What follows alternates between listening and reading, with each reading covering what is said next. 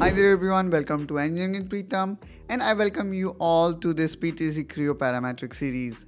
In our today's video, we will start engineering group and then the first tool here is hole. So we will see how we can create uh, several type of holes inside PTC Creo Parametric. So without further ado, let's get started. Okay, so here we can see we are already in PTC Creo parametric environment. And in order to showcase hole feature, let me quickly create extrude. So to start with, let's quickly create this rectangle and let's make its thickness as 100.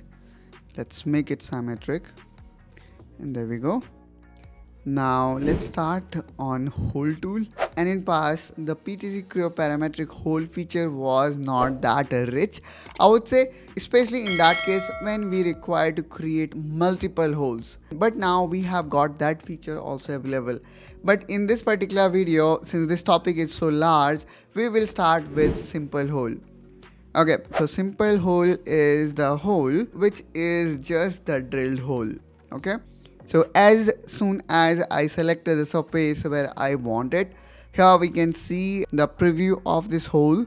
And then by default the dia of 12 which obviously we can change based on our requirement. And then we can also control the depth. And then either can change it from here. Let's say I would like to create this 15 mm hole with depth of let's say uh, 50 mm. There we go. So here we can see preview of it now we need to locate the position of it okay? So we already define the face of whole surface. Now we need to you know simply attach these reference collector to the references. So here what i did is i added two references to it which is this datum plane which is top one and this right datum plane now again we can adjust it based on our requirement. Let's say I would like to create a hole that is 250 mm from this datum plane and 125 mm from this datum plane. Okay. Now um, let's click OK.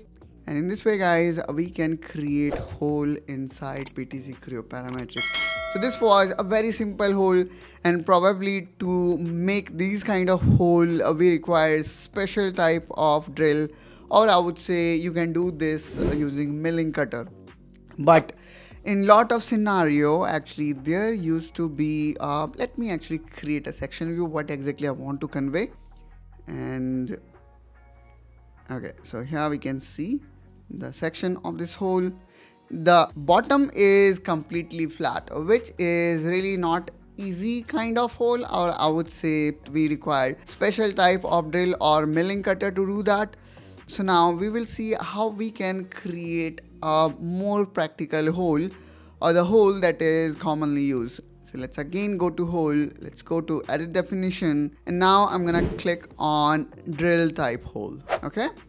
Now let's again click OK and this time again I'm gonna activate this section view. And there we go guys. Here we can see the drill type of hole. So in this way guys we can create a simple hole.